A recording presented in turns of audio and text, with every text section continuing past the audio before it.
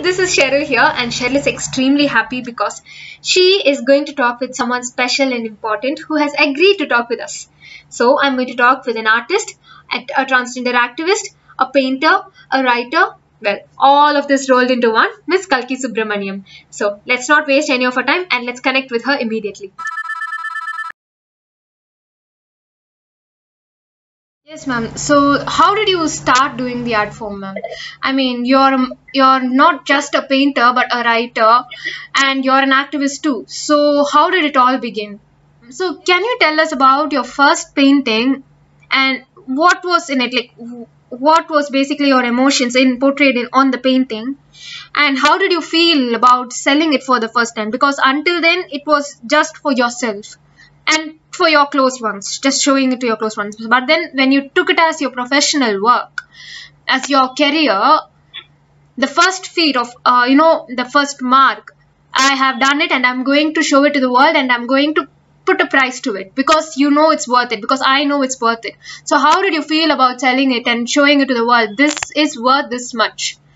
So what happened, ma'am? What, can you explain about about it? My first painting was a watercolor. You see, my my first painting was a watercolor, I think so.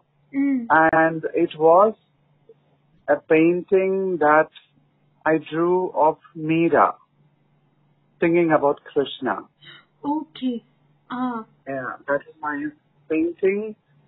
And I actually gifted my first painting to my first boyfriend, Oh, okay.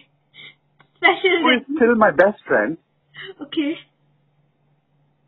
Yeah, it's. Okay, ma'am, it's your school love.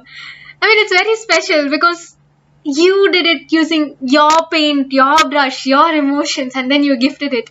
Okay, ma'am. Uh, so, can you talk about the first painting which you sold? What was the one I sold? I think it was horse. I sold my first painting was a horse. A horse. Yes, it was a horse. Yes. Okay, ma'am. Why a horse? If it's did it and how many special? I love animals. I love elephants. I love horses. Mm. Um, I love elephant and horses very much. Mm. Uh, for how much did you sell it, ma'am? Because you know, when people are starting out, especially young artists, they don't know how to price their artwork. Uh, you know, even when they are starting out, it'll be like, okay, is my art worth this much? Am I pricing it too much? Am I pricing it too for too little? So that dilemma occurs, right, ma'am? So how did you overcome it? Like, how did you fix the price? Okay, my painting is worth this much. How did you come to a conclusion? This much. How did you come to a conclusion? I sold my painting for 20,000 rupees, my first painting. It was a large artwork. It was an acrylic painting on canvas, uh, on a stretched canvas. Oh. Uh, I use, I always use the best. Right from my first painting till today, I use the world-class quality paint material, art material only. I sold my first artwork, which was a pop art horse, Hmm. a realistic pop art horse for I know you're an artistic person. Is it because like is it like a personal mission of yours? How and where did you get the strength to do this? Is it because like is it like a personal mission of yours? How and where did you get the strength to do this? There is something called as inner strength, passion, and anger. I think all these things put up together. Passion, anger, inner strength, all this uh, twirled up, and then but anger is something uh, considered a negative force, but for me it was it was where it was grounded. I saw all the injustices done to the transgender people right from my young age, and I there was this fire in me which was really actually negative, but then I turned it into a very positive Mm. uh, to make it uh, uh, as a strength, as an energy. So we'll talk about your art form then. Uh, pop art, pop art has influenced a lot of your work, as far as we have observed. So especially works of Buddha and um, portraits of Frida Kahlo. So is there any Yeah. particular reason you were inspired to paint them, or is it just because you like them and you paint them? Um, I think like Frida uh, was unable to conceive uh, a baby. I'm also unable to uh, conceive a baby. No matter what, she wasn't uh, she was unable to conceive a baby. And I too will never be able to conceive a baby, of course. Mm. And um, in ways, uh, she was a queer woman, and I am also a queer transgender woman. Mm. Okay, and she uses art uh, as an expression of herself, and I use art and poetry as an expression of uh, myself. Yeah. And um, uh, I think um, I love flowers, and she loves flowers. Yeah. And she was a feminist, and I am a feminist. Mm. And um, and she loves, she dresses up really amazing, and I think I dress up really well. Yes, ma'am. Um, yeah, these are some of the reasons. But beyond all that, Mm. I think um I found her to be really uh, very, very interesting personality, way ahead of her time. So I was attracted to Frida Kahlo. I loved painting Frida Kahlo. Mm. And I also like Amrita, uh, uh, uh, Amrita Sher, of course, the Indian painter. Okay. Mm. Yeah, Amrita Sher uh, is also my favorite painter, of course. Mm. Um, likewise, there are many painters as well who I really admire. Yeah.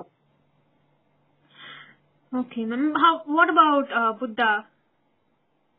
Uh, what about Buddha? Ma'am, uh, so you've been an you're an entrepreneur.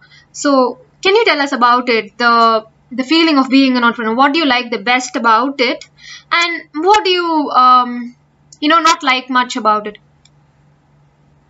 In terms of gender, also. I think when you begin to taste success, then th- it's nothing like that. You really enjoy being an entrepreneur.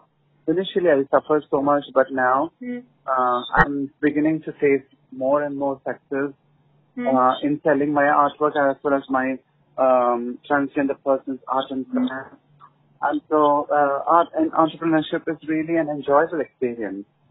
Yes, ma'am. You're not only just going up, but you're also taking. I'm helping other people, Yeah. and that that makes me so happy and so blessed. Yes, ma'am. You're holding other people towards the goal. I mean, Yes, you're taking them up. too. yes, absolutely. Ma'am, so here is these one- days like can you suggest any other medium beyond instagram beyond facebook Um, no, not LinkedIn. I'm sorry. LinkedIn is actually for corporate people. Uh, beyond Facebook and Instagram, I think uh, Twitter is also one way out to reach people. And Behance, yes, Behance is a wonderful medium from Adobe. Mm. Uh, so can you can you give one advice to artists uh, artists who are here very confused on how to price their artwork So sometimes you feel like. I think for all those who are confused, um, I think uh, uh, art is a process. It's a never-ending, ending process. So keep on learning, keep on doing art. Uh, Mm. use the right quality material. Use the material of the highest quality and uh, keep all your art precious. And um, um, most importantly, you social media is one thing that you definitely need to use. Mm. Uh, keep consistently painting, consistently posting your work on social media, and uh, more than that, keep on learning and improving your skills, and definitely you'll be uh, over the top. so if you are given the power to change the world for a day what do you think you would change for yourself for your transgender community people just the just the world in general what would you like to change what would you change I didn't think that you would say that. I mean, yes. Okay, ma'am.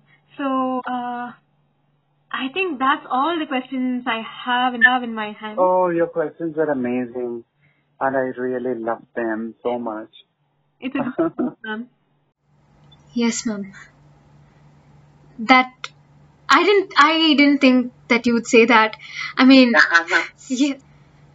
Okay ma'am. So uh i think that's all the questions i have in my hand. Oh, your questions are amazing, and I really you. love them so It's- much. it's a group work ma'am Yeah. Yeah, ma'am. Anyways, ma'am, thank you for giving me the opportunity to talk with you because I know that you are busy day in and day out. It's not an easy work, and in spite of that, you have given me time to talk with you. So thanks a lot for that, and thanks for understanding that. Uh, you know, I'm. Yeah, you have been very understanding and giving me answers. You've been very cooperative, ma'am. Thanks a lot.